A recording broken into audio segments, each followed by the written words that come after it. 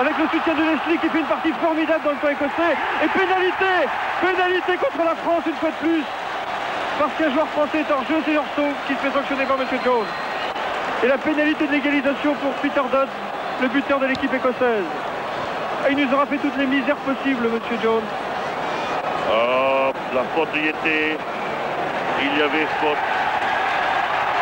Et comme les Français ne sont pas contents, M. Jones fait reculer encore Jean-Pierre et ses partenaires à 10 mètres. Alors Dodd ne peut pas manquer cette pénalité.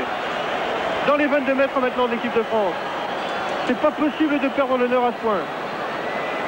Accablé sans doute et désorienté par la blessure de Jérôme Gagnon tout à l'heure, l'équipe de France est en train de perdre son rugby et sa maîtrise.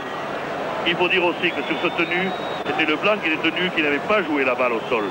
Donc euh, les fautes sont euh, discutables. Certes, l'arbitre a toujours raison.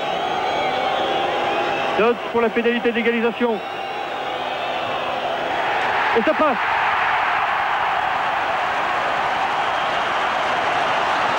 Encore 3 minutes à jouer dans le temps réglementaire. 12 points de Dodds pour l'équipe d'Écosse qui égalise. La France qui n'aura pas pu exprimer son talent. La France qui n'aura pas pu faire donner euh, ses trois quarts pour euh, ce jeu où le ballon vole dans leurs mains comme un oiseau de paradis. Aujourd'hui, c'est un match différent que nous imposent les Écossais.